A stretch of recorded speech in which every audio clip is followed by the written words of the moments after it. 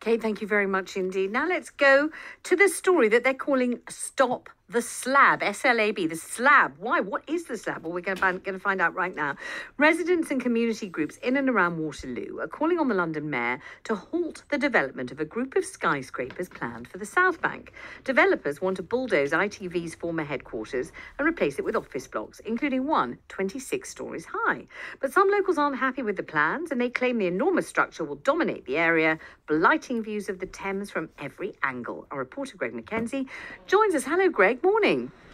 Well, good morning, Vanessa. So I'm on the South Bank this morning, the former ITV building that's uh, earmarked to be bulldozed, uh, but residents are angry about the potential overshadowing from the 25 story skyscraper that's planned, or 26 story.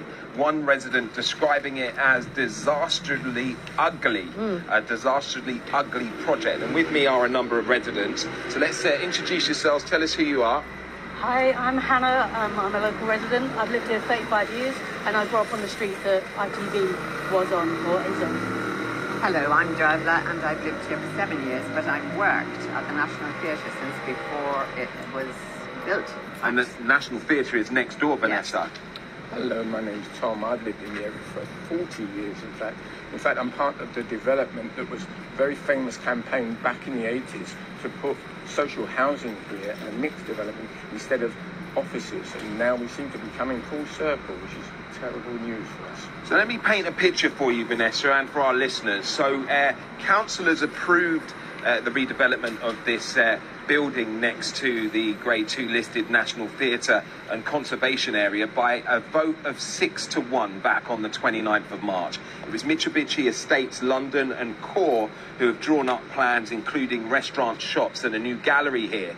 The tower block on 72 Upper Ground site would be replaced by a bulkier tower connected uh, by two more buildings. Now, the, the anger point, if you like, or the real hotspot for residents is that there are no social housing in there. There's going to be no new homes built here. It's literally going to be uh, a, a, a, workspace for people and uh, various other galleries and art spaces, restaurants, if you like. Now, a Lambeth Council spokesman said that these proposals are important for the South Bank site and have been approved by Lambeth Council's Planning Application Committee on the basis that it's sustainable and that development would bring significant opportunities for people living in the borough.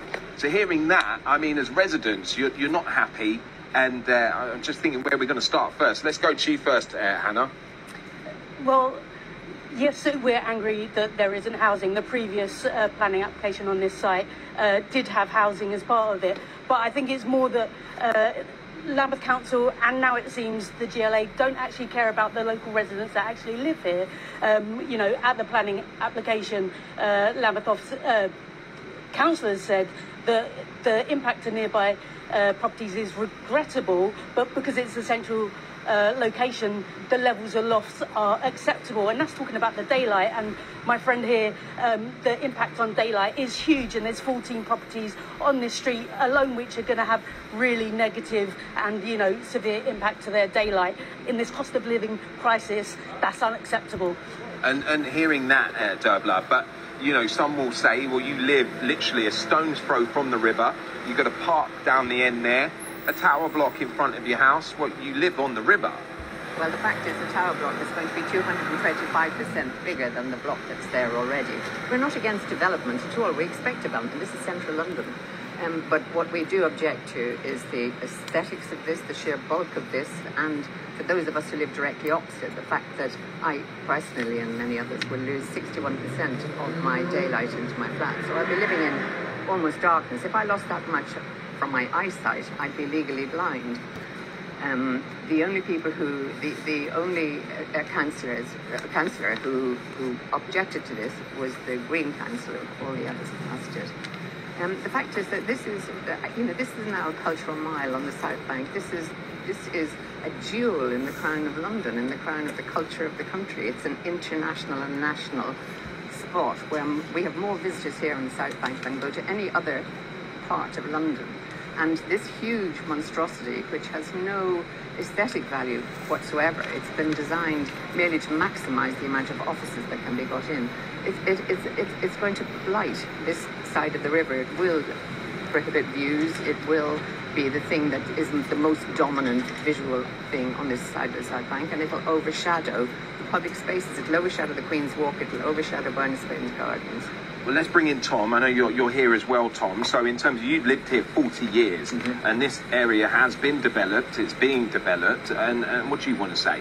Well, the thing is, when you live in this area so long, you see what it's changed from where there was nothing really here before. You couldn't walk along the river before. Now there's this fabulous place to walk along. People from, it's not just locals, and it's worth stressing that we're not just talking about this as a local issue. People come from all over the world to this part of London. It's a fantastic area. The mayor has a responsibility to protect the views from Blackfriars Bridge, from Waterloo Bridge, famous views. Now, this slab, as it's been called in the press, this will overpower the buildings next to it, the, listed buildings, the National Theatre, the IBM building, which is listed as well. So this isn't just a local issue. Would, would the French allow a building like this next to Notre Dame or the Eiffel Tower? I don't think so. We have contacted the mayor's office, Vanessa, and uh, they didn't get back to us yesterday for a comment. But in terms of the developers, they say that this will enhance the area with world-class offices and pledged more than a thousand jobs would could be created for local residents. But what's interesting, Vanessa, is the proposals were signed off on March the 29th by the council's planning committee, and then in May, the then uh, culture secretary Michael Gove intervened. So where we are now, the project, uh, the development is actually halted and residents are pleading now with the mayor to intervene to stop the development or at least redraft the proposals to at least include social housing and not make the structure so uh, what residents call ugly and kind of a stain on the area. So there's still some light at the end of this tunnel. It's not game over yet, is it? No, it's not game over yet, and we'll do all we can um, to, to, to, to, to, to, to stop this monstrosity. Um, but the, the, the thing is that we feel powerless. We, we've already done all we can as residents. We went to the planning, uh, the, the, the, planning application meeting, but there was really hardly any point in our being there. We only got five minutes to speak, whereas the developers had the, uh, you know, because because they were presenting the development, they had control of the whole context essentially. So we were, it, it, it was an, just an exercise our being there. It was a done, it appeared like a done deal beforehand. So you're not saying stop, you're just saying No. redraft the proposals. Not at all. And, and we've been saying that, saying that all along. With the consultation on this, and like, I wouldn't. I'm always frustrated by the consultation because th- this happened uh, during the pandemic when people had other, you know, stresses going on. Every time that there seems to be key uh, decisions and milestones within uh, the planning application, it happens during the holiday time, Christmas uh, previously, and uh, during the summer holidays. And um, you know, at the moment, so many politicians are on holiday, and we can't, you know, have the proper discussions and get, you know, the important sort of points across. So we're really grateful to be, you know, telling you about it and sharing this news. We've got a petition that, you know, in just in the last week alone has already increased, uh, you know, doubled in amount, and we've got over 4,000 people, you know, from all over saying that uh, they don't want this. We were, um, we submitted that into Lambeth uh, prior to the planning application committee. We were about to, you know, submit it to the Mayor of London, but they made their decision not to get involved. Uh, you know, just I think it was on a Monday, and we we want to um, tell Greg Clark um, and other people to sign that petition now. Right. Uh, thank you. Thank you, everybody. Well, there you go, Vanessa. That's just some of the residents here on the South Bank. Back to you in the studio. Thank you very much indeed. That was Greg Mackenzie reporting. If you live around there, Southwark Street, you remember the old ITV building. If you object, or if you're in favour, in fact, of course, of the new development, let me know.